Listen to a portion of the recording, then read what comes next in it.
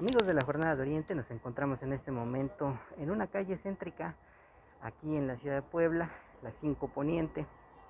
Y bueno, pues aquí tenemos una imagen de lo que es la ciudad en estos momentos eh, con una gran cantidad de basura en, las calles. Eh, sabemos que hay complicaciones en el servicio de limpia, según de, el decir de algunos eh, trabajadores del organismo.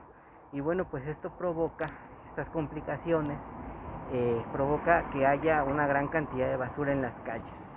Complicaciones de qué tipo bueno pues eh, dicen que no funcionan los los eh, camiones recolectores de basura como debían de ser porque hay algunos descompuestos y esto provoca que no se recoja la basura en tiempo y forma como se hacía en el pasado.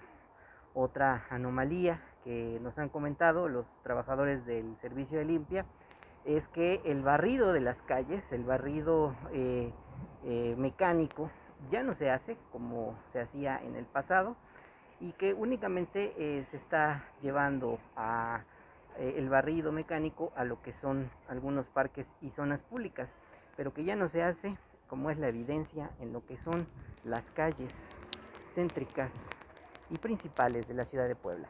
Informó para la Jornada de Oriente Efraín Núñez.